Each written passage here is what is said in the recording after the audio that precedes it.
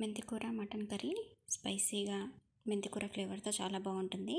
దీనికోసం ఒక గిన్నె పెట్టుకొని అందులో రెండు కప్పులు ఆయిల్ వేసుకోవాలి. ఆయిల్ కొంచెం ఎక్కువ వేసుకోండి నాన్ వెజ్ కర్రీలోకి. మనం ఇందులో మసాలాలు ఏమి యాడ్ చేయకు యాడ్ చేయట్లేదు కాబట్టి గ్రేవీ కోసం ఆనియన్స్ని రెండు పెద్ద సైజు ఉల్లిపాయ ముక్కల్ని సన్నగా కట్ చేసి వేసుకోండి. ఉల్లిపాయ ముక్కలు మొత్తం బ్రౌన్ కలర్లోకి వచ్చి వేగే వరకు వేయించాలి సన్న మంట పైన.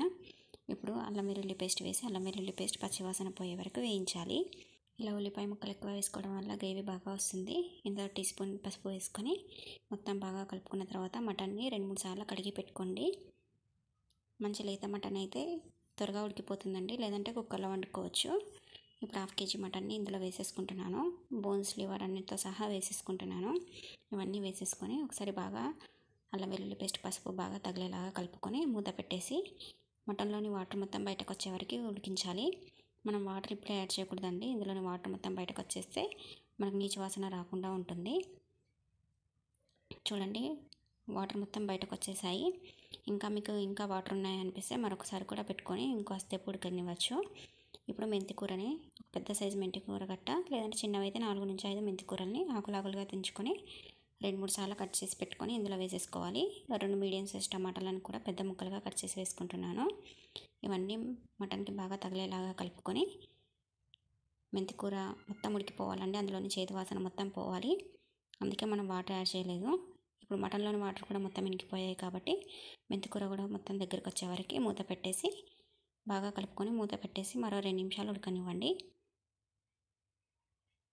మెంతికూరతో ఫ్లేవర్ చాలా బాగుంటుందండి మటన్కి. ఒకసారి ట్రై చేసి చూడండి. చూడండి ఈ విధంగా వాటర్ మొత్తం బయటకు వచ్చేసి మెంతికూర కూడా దగ్గర పడిపోవాలి. అందులోంచి ఏదో మొత్తం పోతుంది. మరొకసారి మూత పెట్టేసి మిగతా వాటర్ కూడా మొత్తం వెళ్ళిపోయే వరకు ఉడకనివ్వాలి.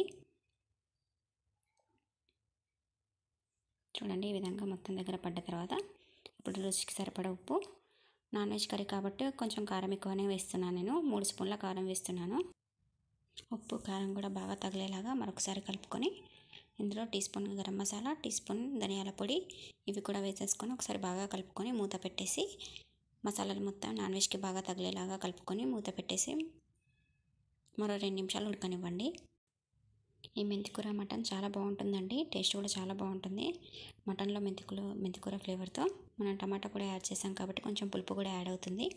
మనకు పూరి చపాతీ రైస్ పరోటా నాన్ దేంట్లో పైన చాలా బాగుంటుందండి కర్రీ. ఒకసారి మూత తీసి చూడండి.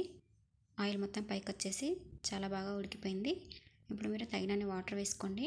మీకు మటన్ ఉడకాలి కదా కాబట్టి మీకు ఎంత ఎంతైతే గ్రేవీ కావాలనుకుంటున్నారో దానికి సరిపడా వాటర్ వేసుకొని ఇప్పుడు మంటని మీడియం ఫ్లేమ్లోకి పెట్టుకొని మూత పెట్టేసి దగ్గర పడే వరకు ఉడకనివ్వాలి. ఈ విధంగా గ్రేవీ కావాలనుకుంటున్నాను కాబట్టి ఇంకాస్త వాటర్ వేసేసి మనకు ఉడికేసరికి దగ్గర పడుతుంది కాబట్టి ఇంకా అన్ని వాటర్ వేసేసి దగ్గర పడే వరకు ఉడకనివ్వాలి. చూడండి ఈ విధంగా దగ్గర పడిపోయింది. ఆయిల్ మొత్తం పైకి తేలిందంటే బాగా ఉడికినట్టేనండి. మటన్ లేతగా ఉంటే త్వరగా ఉడికిపోతుంది. కొంచెం హార్డ్గా ఉంటే ఇంకాస్త టైం పట్టొచ్చు. చివరిగా కొత్తిమీర తరుగు వేసుకొని మరో నిమిషం పాటు ఉడకనివ్వాలి. ఇలా దానివల్ల కొత్తిమీర ఫ్లేవర్ కూడా బాగా తగులుతుందండి. ఎప్పుడైనా కొత్తిమీర వేసుకొని ఒక నిమిషం పాటు ఉడకనివ్వండి. చివరిగా మరొకసారి కొత్తిమీర తరుగు వేసేసుకొని దింపేసుకుంటే మటన్ మెంతికూర మటన్. చాలా బాగుంటుంది. టేస్ట్ ట్రై చేసి కామెంట్ పెట్టండి ఎలా ఉందో. థ్యాంక్స్ ఫర్ వాచింగ్ అండి. ఇంకా మా ఛానల్ ఎవరైనా సబ్స్క్రైబ్ చేసుకోకపోతే ప్లీజ్ సబ్స్క్రైబ్ చేసుకోండి.